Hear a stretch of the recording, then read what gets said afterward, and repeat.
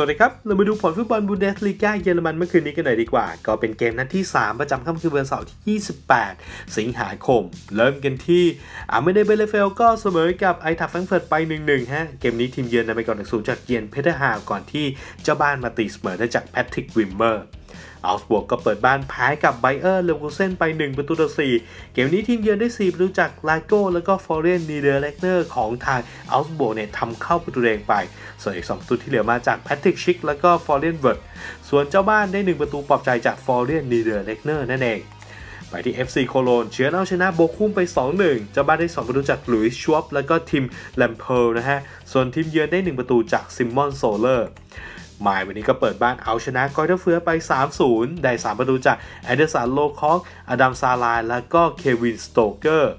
สตุตการ์ดก็เปิดบ้านแพ้กับไฟรบวร์กไป 2-3 เกมนี้ทีมเยือนได้ 3 ประตูจากจองอูยองครับยิง 2 ประตูที่เหลือมาจากลูคัสโฮเลอร์ ส่วนเจ้าบ้านได้ 2 ประตูจากคอนสแตตินอสมาวาโปรนอส แล้วก็ฮามาดีอัลกาดิอุยนะฮะ ปิดท้ายด้วยบาเยิร์นครับถล่มแฮร์ธ่าเบอร์ลินไป 5-0 ได้ 5 ประตูจากโทมัสมุลเลอร์ จามาลมูเซียล่า แล้วก็แฮตทริกของโรเบิร์ตเลวันดอฟสกี้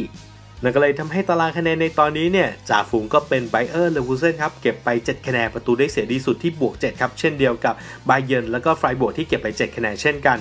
ส่วนทีมที่ได้ 6 คะแนนมี 4 ทีมครับ อันดับ 4 ถึงอันดับ 7 ดอทมุนโคโลนไมล์แล้วก็โฟบบวก อันดับ8ทัฟเฟนฮามี 4 อันดับ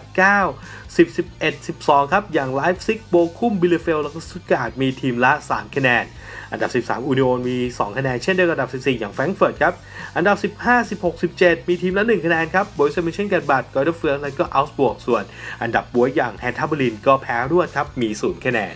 ไปต่อกันที่ดาวซัลโวล่าสุดตอนนี้ก็เป็นเลวันดอฟสกี้ที่ยิงไป 5 ประตู ส่วนอันเดรจ์ครามาริช assist ไม่สุดที่ 4 ลูก แล้วเดี๋ยวส่งท้ายกันที่โปรแกรมในค่ำคืนวันอาทิตย์ที่ 29 สิงหานะฮะ ตอน 2 ทุ่มครึ่งจะมีอูนิโอนเปิดบ้านเจอกับโบรุสเซียมึนเชนกลัดบัคแล้วก็ 4 ทุ่มครึ่งโวล์ฟสบวร์กพบกับอาร์บีไลป์ซิก